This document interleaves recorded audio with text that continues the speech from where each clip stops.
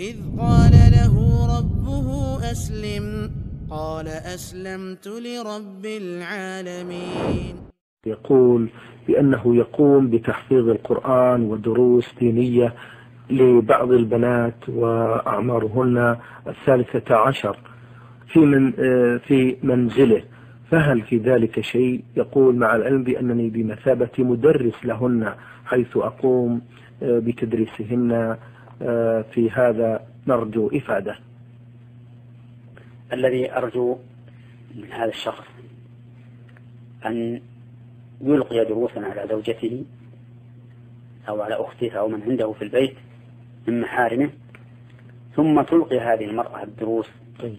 الذي ألقاها عليها على هؤلاء النساء اللاتي يحضرن إلى بيته وأما أن يتولى هو تدريسهن وهن في هذه السن فإني أخشى عليه من الفتنة طيب.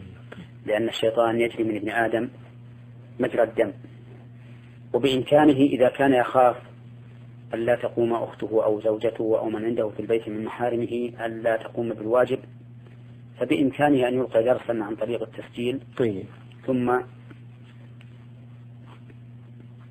تباشر هذه المرأة من محارمه تقديمه لهؤلاء الطالبات ففي هذا حصول الفائدة والابتعاد عن المحظور والفتنة. وإذا حصل منهن سؤال فليكن عندهم آلة تسجيل تسجل هذا السؤال من الطالبات ثم يجيب عنه الرجل في مكان آخر ويعاد إليهم.